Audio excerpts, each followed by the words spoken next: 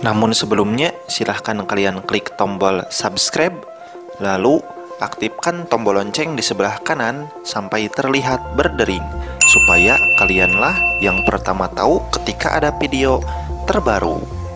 Terima kasih. Assalamualaikum warahmatullahi wabarakatuh.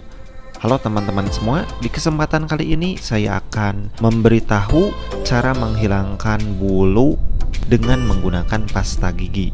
Umumnya orang mengenal pasta gigi untuk menggosok gigi. Nah, kali ini kita akan melakukan sesuatu yang berbeda. Pertama, kita siapkan pasta gigi.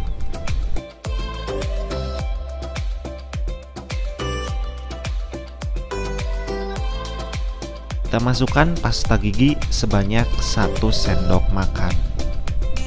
Bagi kalian yang sering ke salon, tidak ada yang lebih mengerikan dan lebih menyakitkan dibandingkan dengan membersihkan bulu yang tidak diinginkan atau biasa kita sebut waxing ya.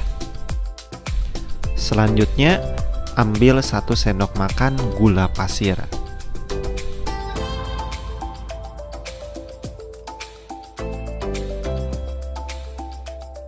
Kemudian, kita aduk dulu supaya kedua bahan ini tercampur dengan baik.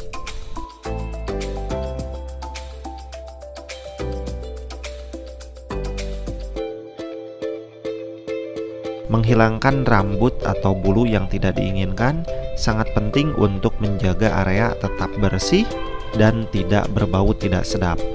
Tapi, tahukah kalian kita bisa dengan mudah membersihkan rambut ataupun bulu tanpa kesakitan.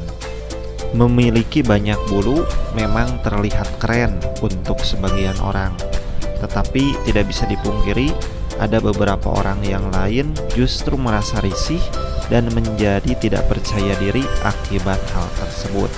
Alhasil, banyak cara yang dilakukan untuk menghilangkan bulu-bulu yang tidak diinginkan tersebut. Selanjutnya, kita tambahkan lemon.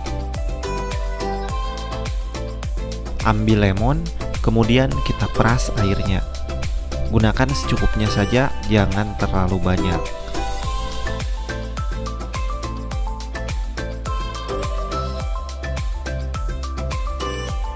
Jangan lupa buang dulu bijinya ya. Setelah kita tambahkan air perasan lemon, kemudian kita aduk rata lagi supaya ketiga bahan ini tercampur dengan baik.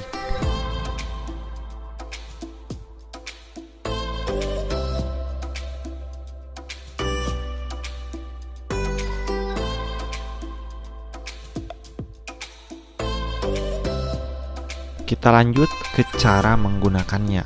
Ambil campuran yang sudah kita buat Kemudian oleskan pada bagian tubuh yang ingin kita hilangkan bulunya. Gosok perlahan dengan gerakan memutar selama beberapa menit. Kemudian biarkan selama 20 menit. Setelah itu, gunakan air biasa untuk mencucinya hingga bersih. Cara ini akan membantu kalian untuk menghilangkan rambut atau bulu yang tidak diinginkan secara efektif tanpa menyebabkan rasa sakit dan kerusakan pada kulit. Pastikan kalian melakukan perawatan ini dua kali seminggu untuk mendapatkan hasil yang diinginkan. Oke teman-teman, terima kasih sudah menonton. Jangan lupa klik tombol subscribe agar channel ini bisa tetap eksis dan terus berjaya. Terima kasih, semoga bermanfaat.